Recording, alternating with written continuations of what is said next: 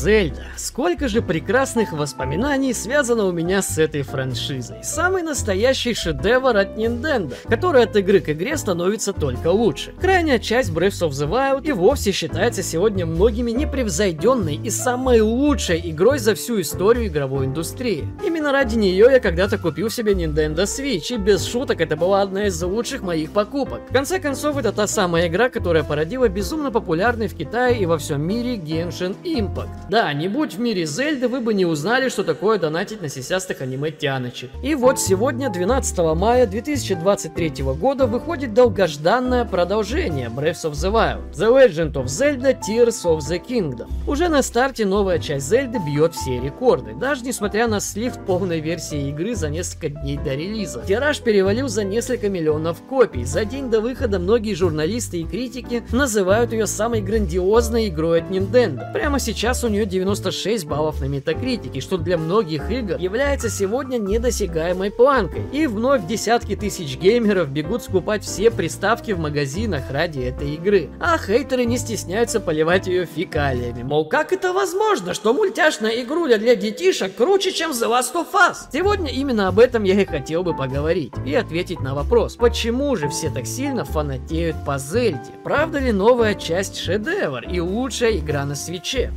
Присаживайся поудобнее. На связи с тобой, как всегда, отец Евген. Прожимай мне свой отцовский лайк заранее и приятного тебе просмотра.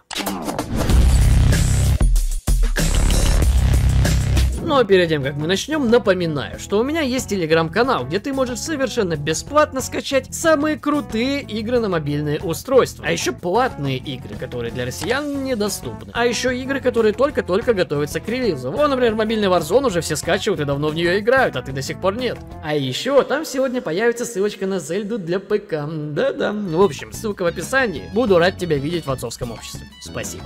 Новую часть Зельды серии хвалят за новые механики, которые открываются совершенно иные уровни геймплея. Да, Nintendo славится тем, что умеет создавать поистине уникальные игры, механики которых ни с чем не сравнимы. И новая Зельда не стала исключением. Ее хвалят за интригующий сюжет, который для многих критиков стал на 10 голов серьезнее и интереснее. За музыкальное сопровождение и посвежевший Хайрул. Для тех, кто не в курсе, Хайрул это мир, где происходят события всей франшизы. Даже несмотря на то, что все здесь кажется очень знакомым, мир все так же интересно исследовать. Критики все как один говорят, что Tears of the Kingdom во многих аспектах лучше прошлой части. Например, вот что о ней говорит Том Марк с портала IGN, поставивший Зельде наивысшую оценку 100 из 100. Это невероятное продолжение одной из величайших игр в истории. В ней каким-то образом улучшили почти все аспекты. Будь то простые правки из разряда качества жизни, по-настоящему захватывающая история или креативная механика строительства. Разработчики не только облагородили старые земли, но и добавили большие новые области. Nintendo одержала очередную победу, сумев расширить и развить мир, который, казалось бы, уже доверху заполнен, и подняв планку еще выше облака. А вот что говорит об игре популярный и самый неподкупный российский российский блогер Леонид Родин, он же DeadP47. Новая Зельда это класс, чуваки.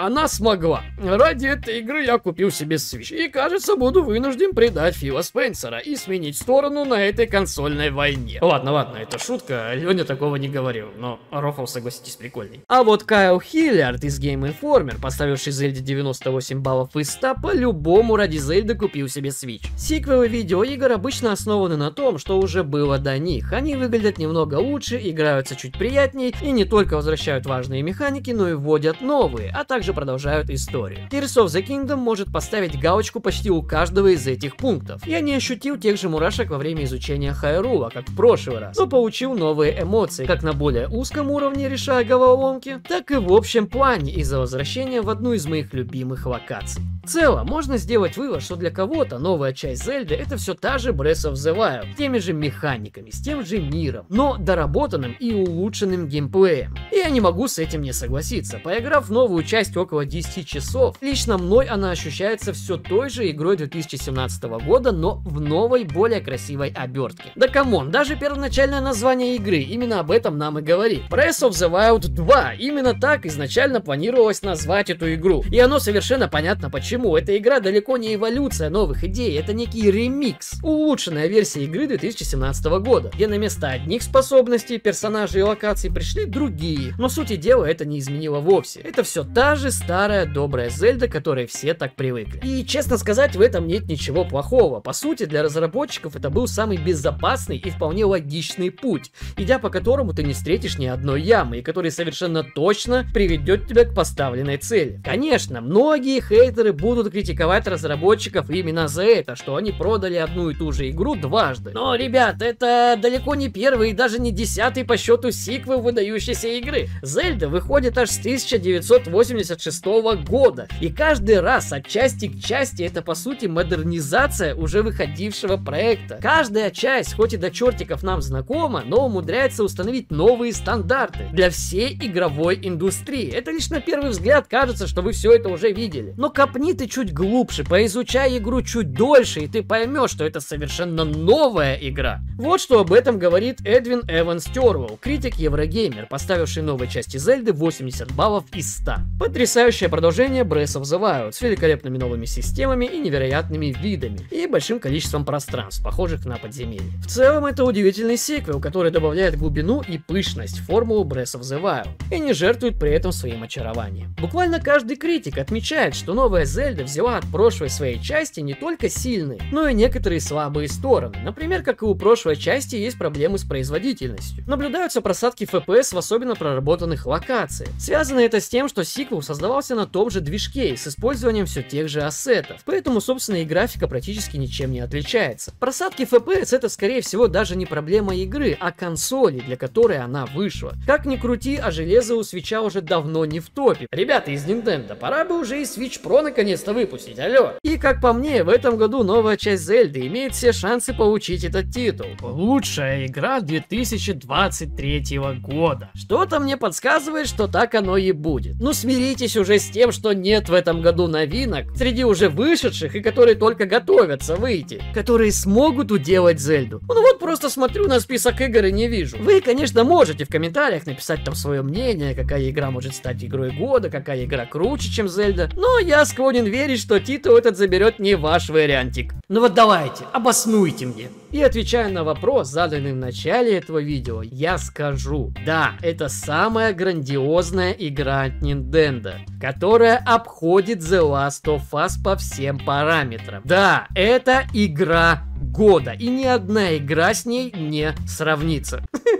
Да ладно, ладно, это разные жанры, сравнивать их глупо, это просто байт на комменты. В целом, если вы подобное любите, я однозначно вам рекомендую прямо сейчас незамедлительно попробовать эту игру. Даже если вы не играли в прошлую часть серии, если вы вообще не играли в Зельду и не знакомы с этой франшизой, берите и пробуйте новую часть. Поверьте мне на слово, вы останетесь довольными. Несмотря на мультяшный сеттинг, на простоту, которая первым делом кидается в глаза, на очень посредственное представление добра и зла в сюжете. В целом, игра бомбезная. Это, что говорится, имба. Скачивайте, пробуйте. Потом спасибо мне скажете. Ну, а где скачать ее на ПК, ты знаешь. Ссылочка в описании. В общем, братик, пиши в комментариях, что думаешь по поводу новой части Зельды. Мне правда очень интересно прочесть твое мнение. И ставь лайк, если игра тебе понравилась. А если нет, напиши в комментах почему. Потому что я искренне не понимаю, что здесь может не понравиться. Как по мне, игра шедевр. Для нее даже 70 баксов было не жалко. Ну а с тобой был отец Евген. Подписывайся на канал, если до сих пор на него не подписан. А если ты пропустил прошлые мои ролики, то можешь их глянуть. Например, пару дней назад у меня на канале вышли обзоры мобильной дивизии от Ubisoft и полноценный обзор бета-версии Warzone Mobile. Все, что об этих играх известно, обо всем рассказал. Обе игрушки прям хорошие для телефонов. Скажи мне кто 10 лет назад, что я на телефоне буду играть вот это или вот это, я бы никогда в жизни в это не поверил. Короче, давай бегом смотреть. Увидимся.